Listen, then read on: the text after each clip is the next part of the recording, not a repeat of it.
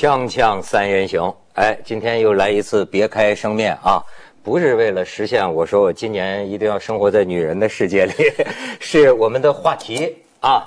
这个话题呢，你看曹新元老师，您呢也是母亲了，对吧？正好呢，马薇薇你是女儿，对对不对？嗯。所以咱们正好要说说 今天的这个题目。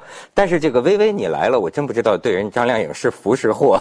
不是，我们对他本身是有同情，然后希望能够保护到他的。我们对他的心态都应该是这样子的。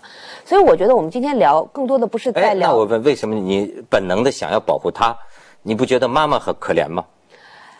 说实话，妈妈可怜也有点自己主动作的成分。可是张靓颖完全是被害者。你觉得是被？无论这个事情最后走向是什么，无论最后大众定论说冯轲是个渣男，这对张靓颖也没什么好处啊。然后最后大众如果定性说啊他妈很糟糕，那也是他亲妈呀。所以张靓颖她在这个这个事件里面，无论如何她都是输家，所以不是很值得同情吗？哎，曹老师呢？您您是有做母亲的经验的，嗯，这事儿给你什么刺激吗？给我刺激太大了。我觉得这不是光是眼下的事情，而是历史上古今中外都有这个问题，不然咱们就没有孔雀东南飞了。哎呦，你还希望他自挂东南枝啊？不是他的问题，就是父母要干预，对，父母干预就拆散了，拆散这个鸳鸯一对鸳鸯，最后是好是坏，那就得父母不承受了，他的一生走到比较、比较后后半段了，而孩子刚刚开始，我觉得父母还是干预的过多不好。可是呢，也有些例子证明，父母好像确实知道的多一点，但是我觉得他妈妈还是做过了点。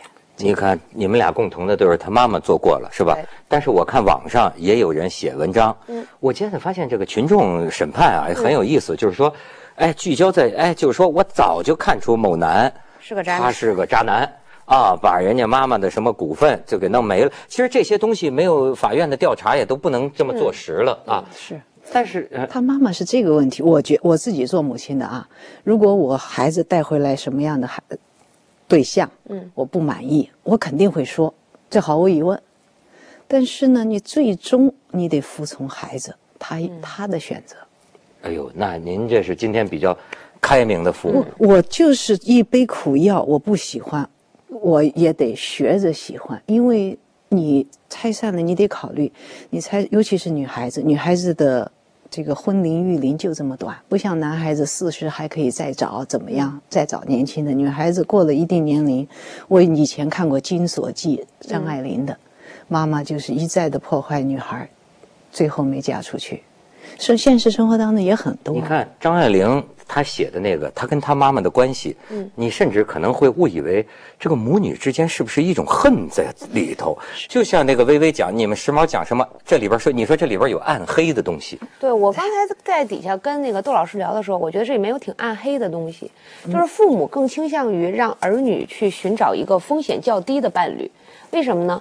因为越是稳定的伴侣，那么给这个女孩带来的生活越稳定，她会向原生家庭去索取的可能性就越低。为什么冯轲是风险较高的伴侣？啊，很简单，就是说，张靓颖是爱他，他但是从物质、名声各方面的条件匹配上来说，冯轲并不适合张靓颖。也就是说，冯轲对于张靓颖原生家庭的贡献会低很多。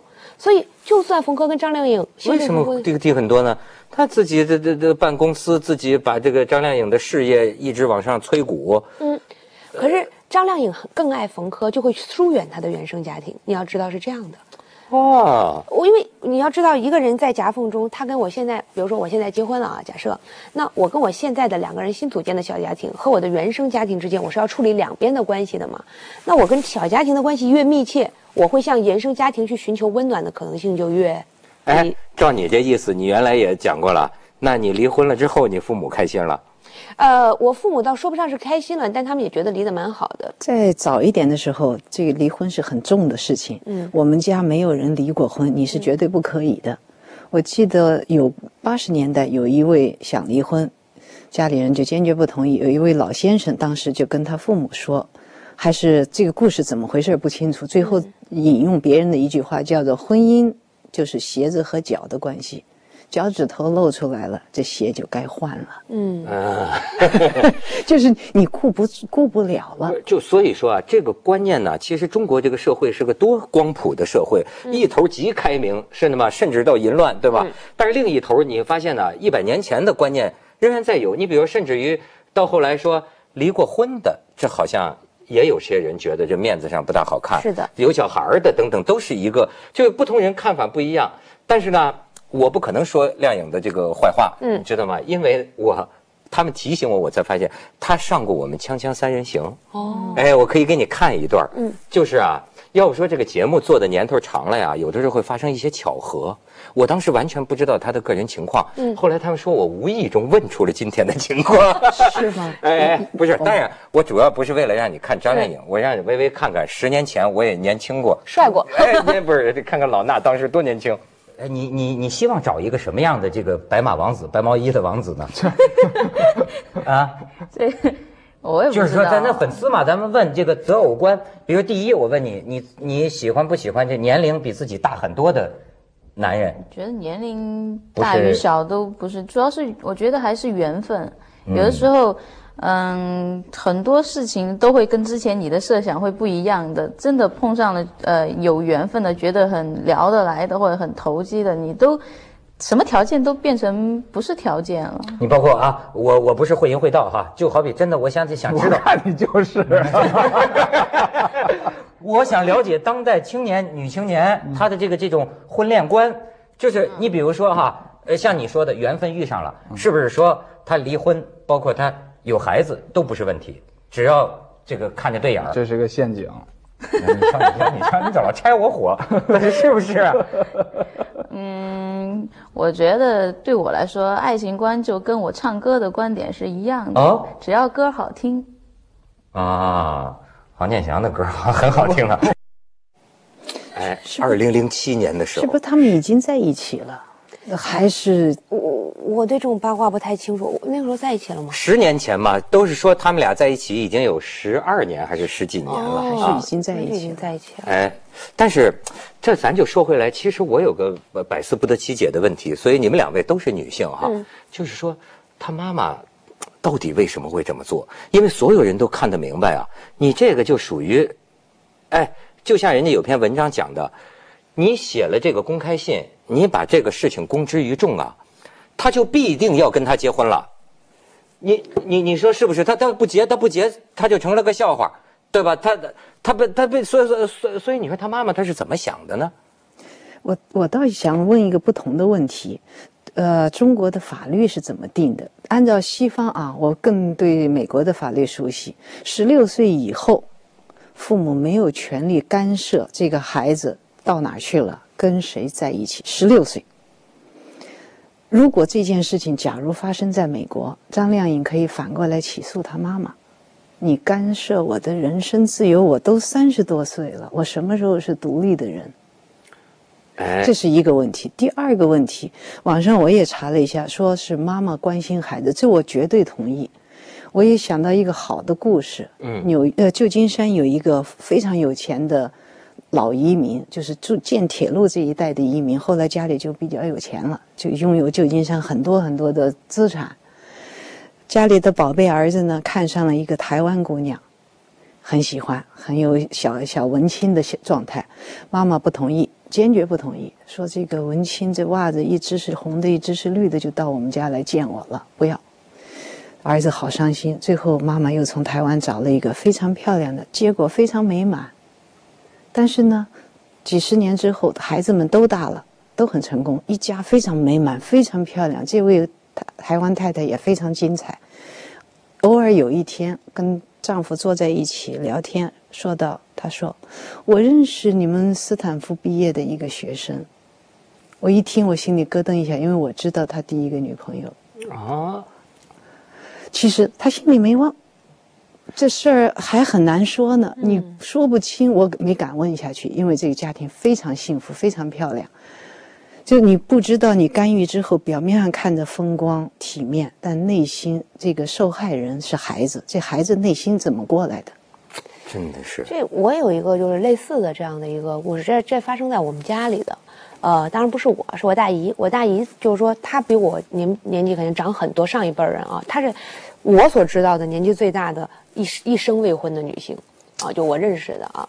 但她年轻的时候呢，就是谈过一次恋爱，当时在上上山下乡的时候，然后呢，我姥姥就强烈反对，为什么呢？因为你去上山下乡的时候，在农村，如果你在那儿结了婚，你就很难再回城了。嗯，所以我姥就强烈反对，说你不能在那，不然你就真的是扎根土地了，你再也回不来，你的整个生活状况，你的未来就完全得不到保证了。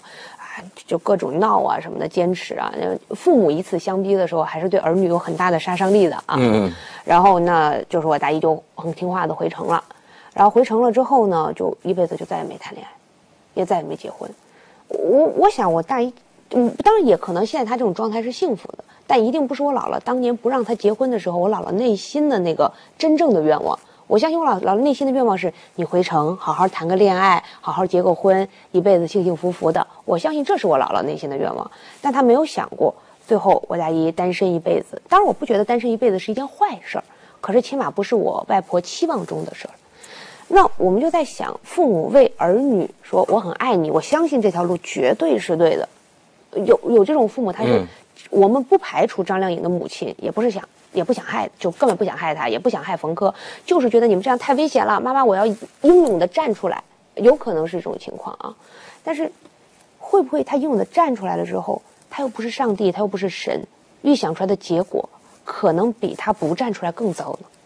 对我就是觉得他是，你觉得他是冲动了，火遮眼了，还是说他还是有理性？因为如果有理性的话，但不合逻辑啊！你这么做就毁了一切啊！是你自己的目的也不可能达成了，这是为什么呢？我觉得他已经丧失理性了。我觉得在他妈妈发这篇公开信的时候，已经丧失理性了。咱们去一下广告，锵锵三人行广告之后见。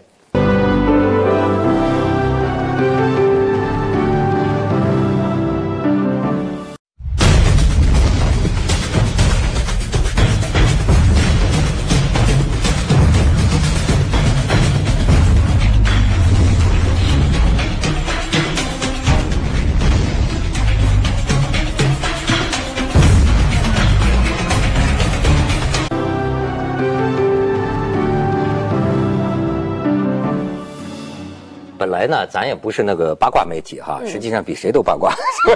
但是我前些年呢，对于聊这个明星的这个八卦隐私呢，实际还有点小膈应。嗯。但是曹老师，咱要不说咱通过一个事儿啊，就观察社会，我觉得，比如说王宝强啊，包括这次这个张靓颖啊，我慢慢有点看出来了，什么叫进入了一个明星时代？就今天的社会叫明星社会。就说这些事情的意义是什么？你知道最早啊，你有理由讨厌狗仔队，因为他是窃取你的隐私。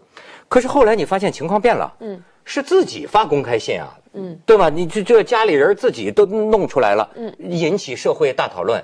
所以我有一个很好的比喻，曹老师，我觉得啊，明星社会啊，为什么要聊这个明星？这就是我们今天社会的样板戏。当年你知道江青主导的中国八大样板戏，就这就样板戏啊，因为在这个社会大变动时代，你发现没有，全晃了范儿了。谁是对的，谁是错的？什么叫道德？什么叫不道德？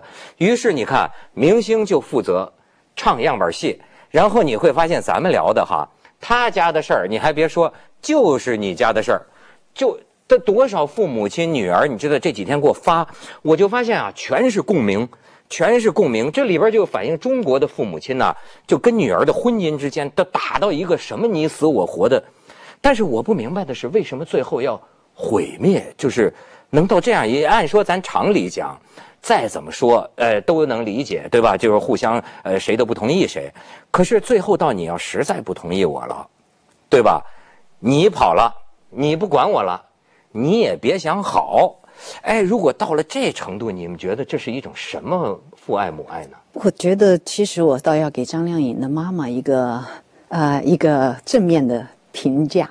你刚刚说这由社会社会深度讨论明星八卦的问题，就让我想到汉代的凌烟阁工程图。咱们看到工程做什么，我跟着他的有样学样，二十四孝。今天榜样榜样，今天反过来了，我们看到明星折射到自己家庭的情况，我就一下想到很多很多我周围的人，听到您这个命题，我就想到很多周围的。我觉得也许从正面看，也许还有好的效果。毕竟血浓于水，妈妈和女儿虽然矛盾很深，在年轻的时候，但过了三十几岁，妈妈会和女儿突然走得非常近，有很多情况。而且妈妈和女儿在婚姻问题上闹翻了，最后女儿还是回到妈妈这儿。婚姻幸福也罢，不幸也罢，最后这个妈妈和女儿不会到彻底决裂。举几个例子，在北京就见到很多所谓的父母眼里的渣男，看上了真正的凤凰，北京出身也好，地位也好，那都是大家闺秀。那父母不愿意，我都参与一两个，还让我旁边盯着烧，不许他们在一起。后来我就劝父母，像你说的一样，别别别加压力。像你刚刚说的罗密欧朱丽叶，一加压力就把他们压到一起了。现在是后来是什么呢？结了婚之后。那可是登堂入室，成为家里家里的顶梁柱。家里现在就是全家人跟着，别让别的女孩看上了。反过来了，人家女孩也可能是有眼光，可是呢，年轻拿不定主意，或者是追不上，或者像这种妈妈的压力一下把他们压到一起了。回头一想，老妈起了好作用啊。微微，你觉得你能理解这个吗？我我有一个不成熟的小反对，小反对，小小反对，小反对，对，他是反对派。实际上，刚才曹老师有讲啊，说，呃，年轻的时候，无论我们跟父母闹得多么凶，年纪大了，其实大家都会彼此体谅，再到一起。毕竟血浓于水。其实我觉得这种观点其实有点可怕。正是因为。血浓于水，无论儿女做什么，父母都应该原谅儿女；无论父母做什么，儿女都应该原谅父母。所以才出现了很多很讨厌的儿女和很多很讨厌的父母，因为他们心里都觉得我们最后总会在一起。这种想法很可怕。我们对外人其实都很有礼貌，我们对陌生人其实都很讲道理。呃，一轮到我们自己亲人了，我们变得超不讲道理，因为你是我亲人哦。其实我觉得，面对亲人的这种丧失理性。不利于关家庭关系的现代化处理。就比如说，如果说今天啊，曹老师你去劝张亮张靓颖，因为我们在某种意义上，我们都会觉得呃冯轲这个不是良配，对吧？假设您去劝张靓颖，怎么就不是良配了？就你当婆家人，就假设嘛，我们是说 假设我们认为不是良配，他去劝，然后呢，那曹老师劝的时候，肯定不会像他妈妈那么激烈，说发公开信呐，或怎么样，肯定是私底下尽可能的两头说和。没错吧？为什么？因为你把自己当外人。我们今天谈论张靓颖的问题的时候，我们三个人其实都小心翼翼。为什么？我们都当外人。可是，一旦在感情儿女的感情生活中，父母不把自己当外人了，他觉得我无论对你做什么事，哪怕我在公众面前让你出一个大洋相，让你哭着接受采访，你早晚也会原谅我的哦。嗯，其实你曲解曲解了我的意思。我不是说父母或者家里人拿这个作为一种呃杀手锏来。迫胁迫或者是一个条件，反正你不会怎么我，反正最后咱们是一家。其实到我觉得当事人肯定没有这么想过，而是最后慢慢当事人很可能就是你都不在地球上，我恨不得拿刀杀了你。这种情况也有，走到极端不能控制，真出现悲剧的也有。但是，一旦度过这个危机，慢慢最后走到一起的，我们还是见到很多例子。我不觉得是一种你知道，就是因为这个血缘呐很难。切得断，所以这个里边啊，才有那么多的这种爱恨情仇。我我就觉得，其实这个里边说到啊，就是中国社会很多问题，甚至你也可以说，国与国之间关系都是这个问题。就是说啊，之止啊，你看中国古代人就讲一个，我我我认为现在很多人与人之间的矛盾呢，就是哎，你做事儿总有个停在哪儿，就是知道停在哪儿。我就觉得现在这个代际之间呢，父母中国传统许多吧，不定不能说是所有，许多父母和子女之间啊，就他不知道停在哪儿。你比如刚才曹老师讲的，我很认同有一点，你就是感觉哎很理性的，就是你就发现没有，我曾经觉得这个道德混乱的世界上啊，我老喜欢法律，嗯，就是反我喜欢一竿子插到底，就是说这个事儿吧，本质上不讲谁对谁错，父母也对，啊子女也对，但是呢。这就像两个国家都对，都认为自己对，那最后呢，互相说服，互相什么？我会想想，哎，到法律这儿说，他只要成年了，你没有权利干预他，你干预他，你可能涉嫌违法哦。那你看，这就是我的一个底，咱就到这儿了吧。但是呢，好多这个中国父母亲呢，我觉得，你看，我看到有一篇文章。他说的这个最后一句话叫什么？说咱们老是讲让孩子独立，也许啊，跟孩子独立相比啊，更需要独立的是中国父母。是你知道这，我就甚至想起我的爸爸妈妈，哎，他们为了孩子，真的已经活得没有自我了。于是你回到家里，你就看到有他们的眼睛就看着你，直勾勾的一。直是看你，你给我做这个了，吃点吧，又给我做那儿了，或者是学习吧，看会儿书吧。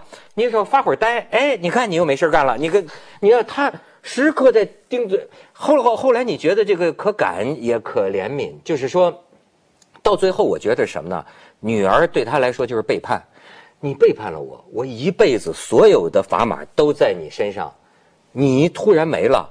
我觉得就这种情况下，可能就来这种玉碎昆冈，就是，就我我什么都没了，那所以咱就恐怖主义了，是吧？是文涛，我觉得现在咱们处在一个非常，就是以前也谈过价值混乱、价值多元的一个时代。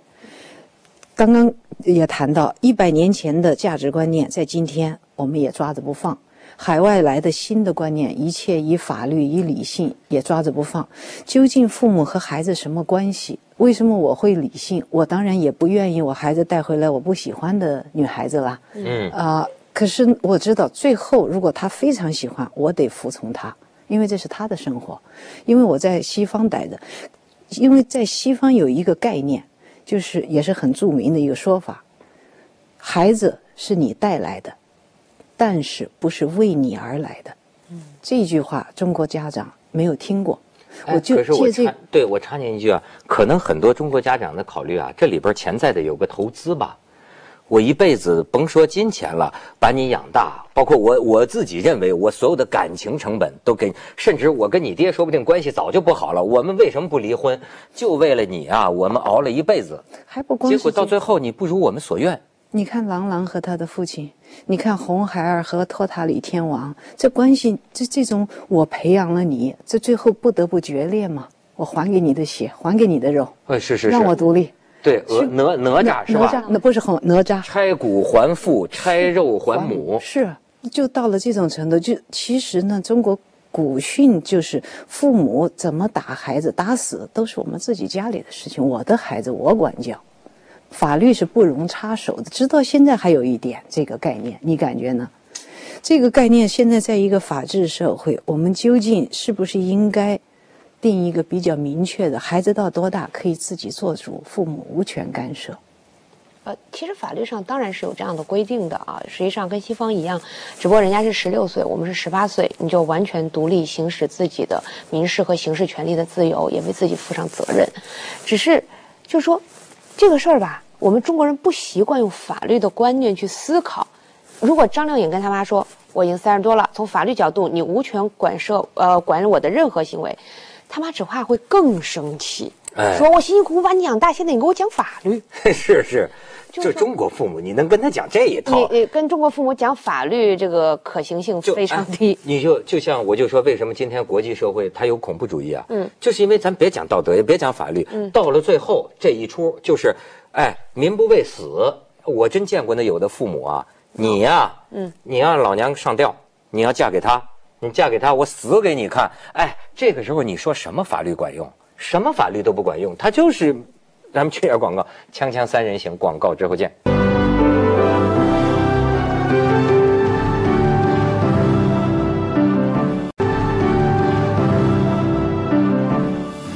微微，你看，你作为女儿，这个婚姻路上也是坎坷。嗯对 我不，我们假设，哎，你你父母很开明，我知道，就是说，假设你碰见这么一个妈，嗯，就要跟你往死里磕，你怎么办？我觉得现在很多年轻人就是说，这怎么办？哦，那也就只能断绝关系了吧？你断绝关系，他要死给你看呢；不是你断绝关系，他要给你像这个给你发公开信，跟你全社会闹，你也是一知名人士，就把你彻底搞搞搞倒搞臭，你怎么办？呃，实际上是这样的啊，就是说，如果你敢跟父母断绝关系，他就不敢发公开信，因为他从逻辑上不是你的父母了。其实父母跟儿女到最极端的斗争上啊，咱们说句实在话，比的是谁狠。比的是谁狠。对，谁更不在意这段关系？你知道吗？一个会发公开信谴责自己的女儿和她的伴侣的这样的一个母亲，她已经没有那么在意母女关系了，她已经没那么在意她女儿对她的看法了。你想过吗？一个真正在意女儿对自己看法，是不是真的爱的妈妈，会做到这么极端吗？不会的。我觉得可，我插一句，我觉得可能还是他妈妈这个成长年代的问题。以前动不动就找领导、找单位，现在没有单位和领导去找了，于是就发公开信找社会、哎找舆他们那一。代人的习惯模式，是他就是找一个力量，找一个外在力量，把这件事情这个杠杆不在他这边了，他倾斜了，倾斜的厉害。呃，我我理解他这是他最后的救济手段，我能理解。但是我只是说，当你用社会的力量去救济你们一段私人的关系的时候，其实你已经没有那么在意私人的关系了。我可以把这件事情说的广一点，比如说夫妻离婚的时候，愿意私下协调或走法律途径的。彼此之间还会有一点感情，而跑到对方单位去一哭二闹三上吊，你只要跟我离，我让你身败名裂，这辈子都不活的，往往是不爱对方了，他只是爱这一段自己的爱而已。但是你像人他妈妈说的也可怜呐，就是说女儿啊，就是哪怕我为了让你将来不后悔，我宁愿让你今天恨我，这是他的心理依据，可能他觉得他还是出于爱。我觉得他是因为这个法律和人情这事情，咱们不能一概而论，因为每一个家庭、每一个人的做法他都不一样，他处理的方式都不一样。即便是在国外，我也看过一个叫呃女法官朱 Judy，嗯她就是判母女的呃母子的关系，最后她就用人情，根本没有法律依据的，他带你大，你得管他，这就叫清官难断家务事。是非常复杂。哎，所以说我说你看这是样板戏吧，一出接一出，咱就进入这个时代了，就拿他们做模板去参考选择，对吧我们？的生活，对，分边站，我是这边，我是那边，很多父母支持他妈。呃，这可完全可以理解。但是我只能说啊，一段胁迫而来的决定和一段胁迫而来的关系，